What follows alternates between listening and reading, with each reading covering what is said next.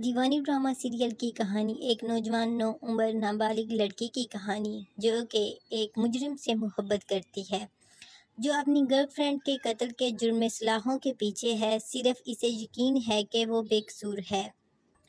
खुश मिजाज, खूबसूरत मीरा अपने ख़ानदान के साथ उत्तर प्रदेश में रहती है और वो मोहब्बत पर यकीन रखती है। पार्थ एक बदमाश और मशहूर बिजनेसमैन, मदन ठाकुर का सबसे छोटा बेटा, जिसके मीरा के वालद संजीव इनकी कंपनी में काम करते हैं और वो अपने ख़ानदान के साथ रहता है और वो एक गलत फहमी की वजह से अपने वाले से नफरत करता है और वो पायल से मोहब्बत करता है।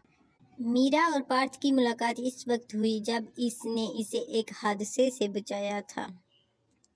सात साल बाद, पार्थ अब सात साल बाद जेल से रहा हुआ है और अब वो इसे वाक़े की वजह से मोहब्बत से नफरत करता है। जबकि मीरा अपनी तलीम मुकम्मल करने के बाद अपने ख़ानदान के पास वापस आती है। पार्थ और मीरा आखिरकार दोबारा मिलते हैं।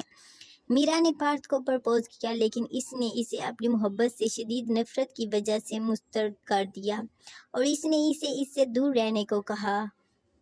गुरु मीरा के लिए आता है और इसके पार्थ के ख़ानदान से शादी करने का इरादा रखता है और मीरा के ख़ानदान ने सच्चाई से बेखबर इसे कबूल किया। पार्थ की दादी को मीरा की पार्थ से मोहब्बत के बारे में मालूम हुआ और वो इसे मीरा से शादी करने की कोशिश करती है, लेकिन नाकाम रहती है।